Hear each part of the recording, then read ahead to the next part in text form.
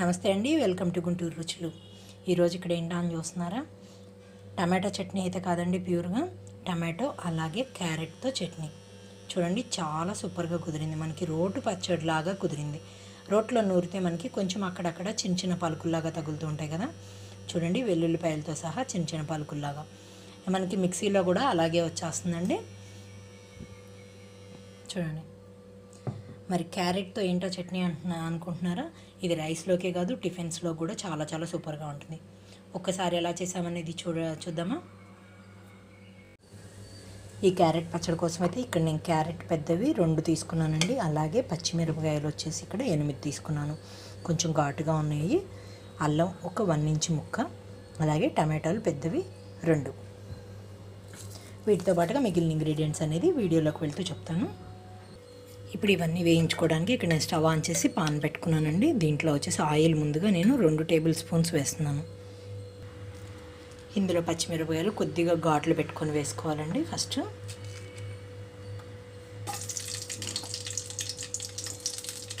ఇలా కొద్దిగా. ఇక్కడ నేను పచ్చిమిరపకాయలతో పాటు అల్లం కూడా వేసేస్తున్నాను.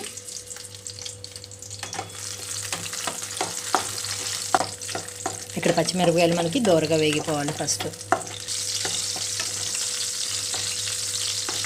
ఇక్కడ చూడండి పచ్చిమిరపకాయలు మనకి దోరగా వేగిపోయింది కదా. ఇప్పుడు ఇందులోనే క్యారెట్ ముక్కలు వేసేస్తున్నానండి ముందు.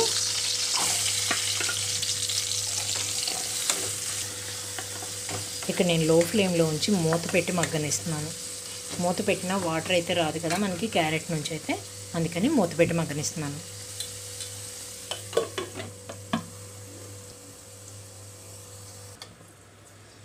ఇక్కడ చూడండి ఐదు నిమిషాల తర్వాత మూత తీస్తున్నాను నేను. మనకి క్యారెట్ ఉడికిపోయినట్లుగా తెలుస్తుంది కదా. ఇప్పుడు వీటిని నేను ఒక ప్లేట్లోకి తీసుకుంటున్నాను.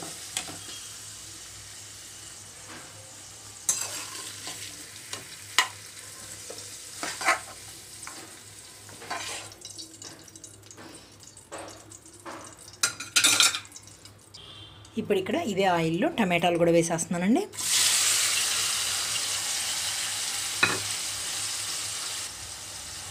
ఈ టమాటాలతోనే కొంచెం కొత్తిమీరను కూడా వేసేసుకుంటున్నాను. అలాగే కొద్దిగా కరివేపాకు. సాల్ట్ కూడా అవసరం లేదండి. మూత పెట్టి ఒక మూడు నుంచి ఐదు నిమిషాల పాటు ఉంచితే చాలా లో ఫ్లేమ్లో త్వరగా మగ్గిపోతుంది ఈ టమాటా కూడా. మీరు కొత్తిమీర తాలింపు వేసుకునే వాళ్ళు అయితే కొత్తిమీరని తాలింపులో వేసేసుకోండి. నేనైతే తాలింపు పెట్టకుండా చేస్తున్నాను కాబట్టి ఇక్కడ. డైరెక్ట్గా నేను ఇందులోనే వేసేసుకున్నాను. ఇక్కడ నేను మూత పెట్టేస్తున్నాను.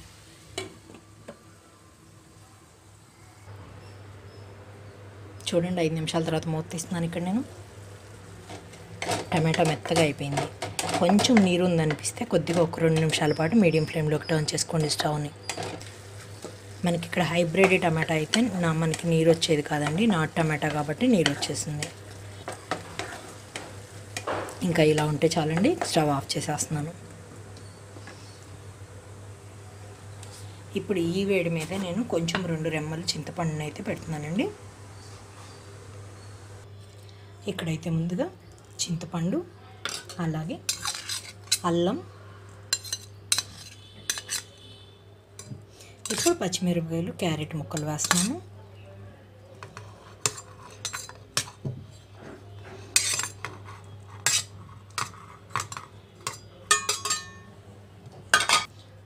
ఇందులోనే జీలకర్ర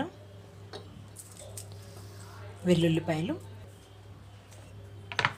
రుచికి తగినట్లుగా సాల్ట్ గ్రైండ్ చేస్తున్నానండి. ఇక్కడ చూడండి మూత. కొంచెం బరగ్గా ఉంది. ఇప్పుడు నేను ఇందులోకి వేయించి పెట్టుకొని టమాటా వేస్తున్నాను.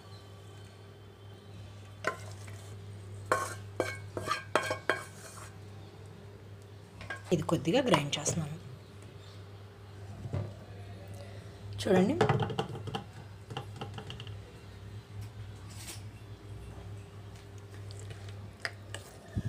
రోట్లో నూరినట్లుగా వచ్చేసింది కదా మరి మనీ మరీ మెత్తగా కాకుండా కొంచెం అక్కడక్కడ కొద్దిగా పలుగ్గా తెలుస్తుంది అనమాట ఇప్పుడు ఇది ఇంకా నేను సర్వింగ్ ప్లేట్లో సర్వింగ్ బౌల్లోకి తీసుకుంటున్నాను. చూసారు కదా? క్యారెట్ టమాటా చట్నీ రెడీ అయిపోయింది. ఇక్కడ నేనైతే తాలింపు పెట్టుకోవట్లేదండి. మీరు కావాలనుకుంటే తాలింపు పెట్టుకోవచ్చు. తాలింపు లేకపోయినా చాలా బాగుంటుంది. అన్నీ కూడా ఇందులో వేసేసాం కాబట్టి టేస్ట్ సూపర్గా ఉంటుందన్నమాట. ఇది మనకి దోశ ఇడ్లీ అలాగే పునుగు బోండా గారెల్లోకి బాగుంటుంది. అలాగే మనకి రైస్లో కూడా చాలా చాలా సూపర్గా ఉంటుంది. మరి మీరు కూడా ఒకసారి ట్రై చేసి చూడండి. ట్రై చేసి మీ ఒపీనియన్ అయితే కామెంట్ బాక్స్లో పెట్టండి.